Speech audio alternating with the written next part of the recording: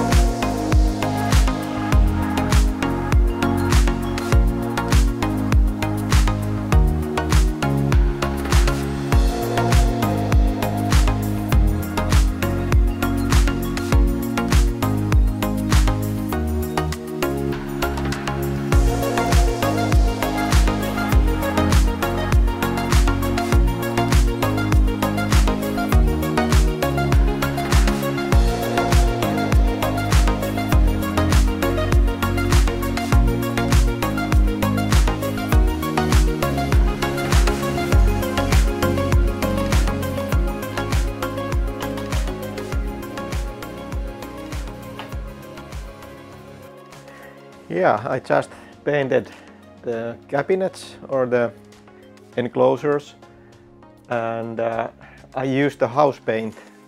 It was the same paint what I painted the room where these speakers are going. And uh, the side panels I will attach later.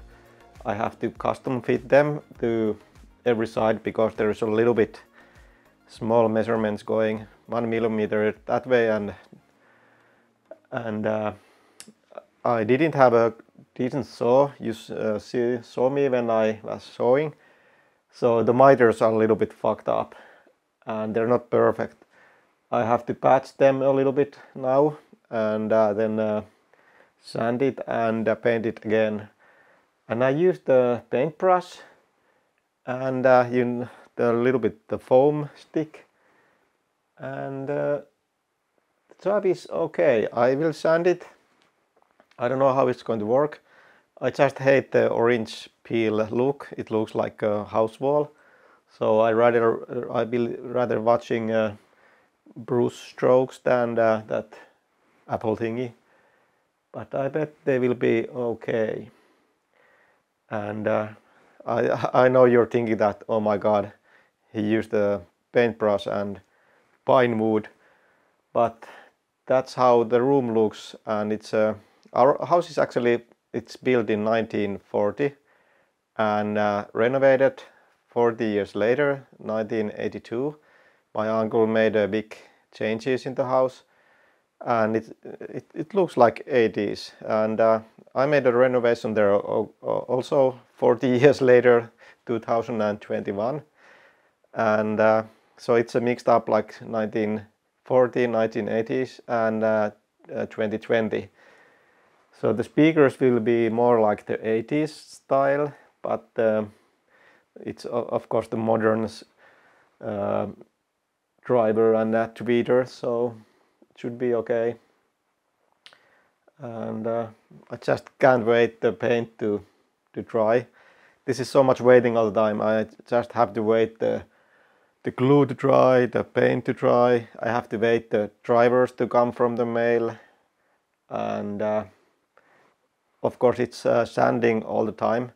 So I'm really glad I bought the orbital sander the cheap one. It's uh, surprisingly good. And I have uh, the vacuum cleaner which had the thing that I can uh, attach it to the machine. And there's the button that it starts automatically when I'm starting to use the machine what's attached to the vacuum cleaner so that was good buy but I will talk later about this build in the video where I'm going to test it later in this video I will just uh, build these these guys and uh, and uh, I, I, will do a, a, quick test. I did buy a amp already for these speakers so I can test it when it's ready that it's working. I can use my movie room here down. Uh, this is a different building than our main building. I have a movie room here.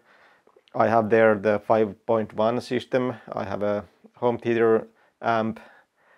Uh, but I will test it the, the, the, the uh, the new stereo amp amplifier. It's Class D. Uh, it's it's SMS, SMSL A300 maybe. I can check that later. But we can test maybe uh, some of the speakers from my home theater system also, so we can have some kind of uh, reference point to the reference speakers. Yeah i'm really waiting these two that i can get these two our uh, we call it the dreaming house uh, dreaming room. I want to get them there the room cleaned and then listening the music. But i have to wait the stupid paint to dry. It's taking so much time